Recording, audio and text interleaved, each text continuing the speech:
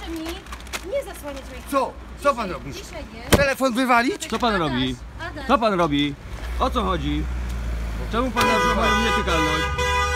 Dziadostwo. Weź to wyrzuć. Weź to wyrzuć. Bo co? Po co kurwa? Adaś! Uspokój się. Jest wydarzenie artystyczne, ważne. Jak pan to udostępni ten Dzwoń film, pan na policję. jak pan Bo to, co? ten film udostępni, To co? To jest naruszenie prywatności. Proszę pana, naruszył pan moją nietykalność.